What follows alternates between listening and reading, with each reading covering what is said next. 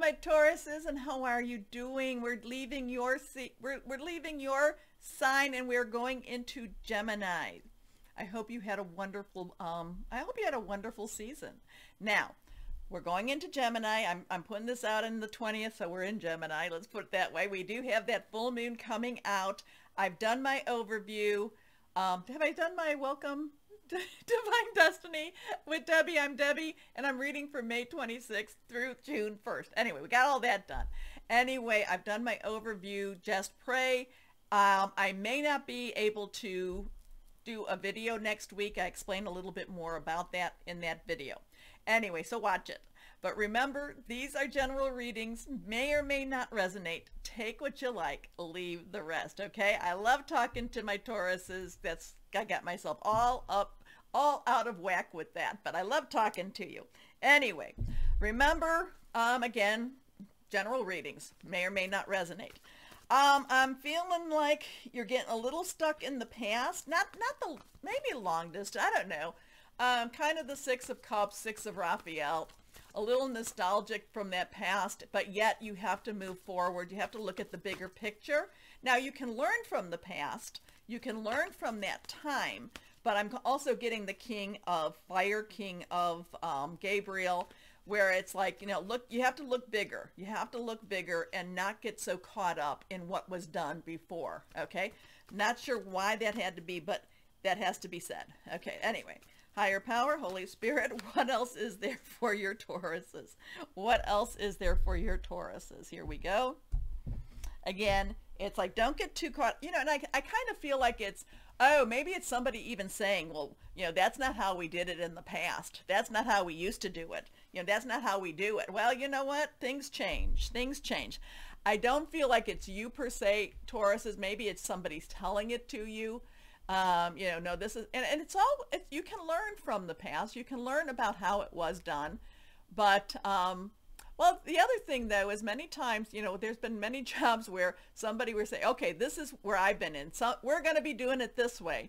And you're like, okay, but you know, and you don't want to be a naysayer, but you're kind of like, we, you know, done that, did that, done that, didn't work. So not quite sure, but something being stuck in the past, but keep being brought up.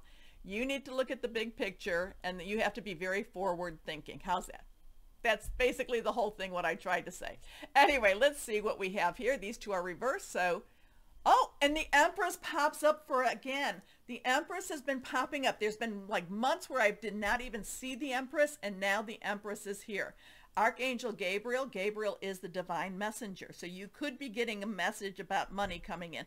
And again, I don't always get that with her, and it's just the second time. So if you cross watch, and you come across something with the Empress and I talk about money because there was one time I talked about money, then no money is coming in, okay?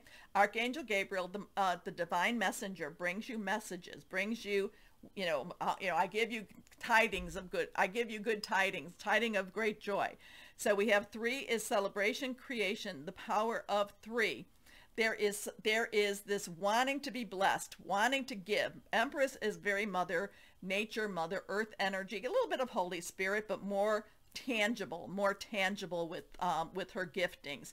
There's a lot of karmic resolution with her, even though we're not in Mercury um, retro, which really amps up this message, but um, it is direct right now. We're out of the shadow, but we are about to change over. Mercury is in, is in Taurus right now. It does something with Uranus. So I'm going to say really expect the unexpected. And you got to watch the begin that other one because I talk about that. So time to act upon your plans. Creativity is rewarded, luxurious or abundant resources. Next card is reversed again. The nine of Gabriel, stand your ground. Stand your ground, Tauruses. Whatever it is, you know, whatever that past thing is, stand your ground. Now, nine is, let's wrap it up. You've got everything you need. Gabriel is fire energy. Aries, Leo, Sagittarius. Sagittarius full moon, what is it, the 23rd? You know, release, relinquish, request, stand your ground. Don't give in. Okay, stay determined and move forward. Be prepared for any possibility. Environmental activism. Hmm. Next card is the Eight of Raphael, water energy. Um, Cancer, Pisces, Scorpio, fluid, emotional. Eight is unlimited opportunities. It's it's kind of like the ants, you know, I'm just antsy. I need to move on. I need to get out of here. I have to move on. I have to go. There's more for me. There is more for me waiting for me. So again, it's it's kind of leaving that past behind and moving on. So there, and you know, and the interesting thing is, it's the unknown. It is going into the unknown, but yet, you know, and the and leaving behind is the chest of gold. You know, there, it, you know, all this money it, you know, and it's like, this isn't enough for me. This isn't enough. I need more. I need to move on. So there is something better waiting for you. Do what you know is right for you, a spiritual quest. Remember, I felt like the, um, you know, the king of, of fire. Look at the big picture. Look at the big picture. Okay. So let's see. What else do we have here?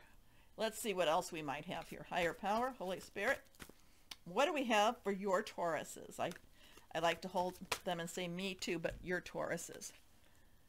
Three of abundance. Three. So we have that three again. Abundance is your energy. It's also uh, Virgo. It's also Capricorn. Uh, the three of abundance. I love this. Your passions will lead you to your divine life purpose.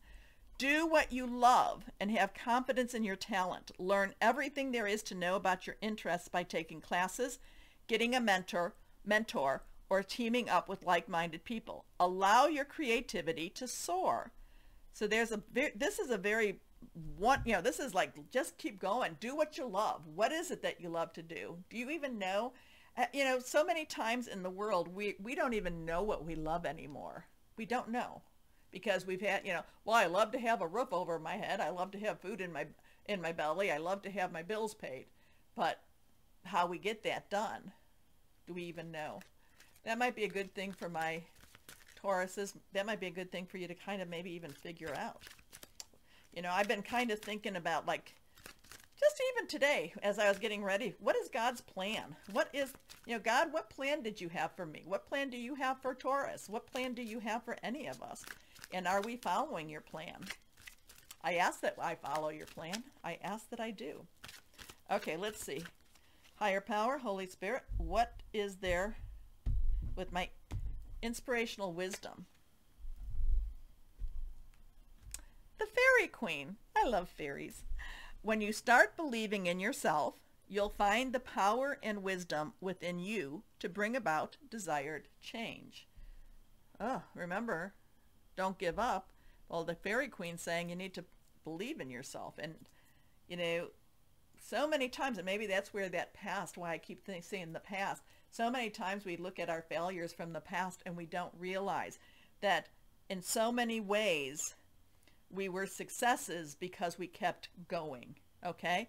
We kept going and we learned from failures, but we didn't let them define us as a failure.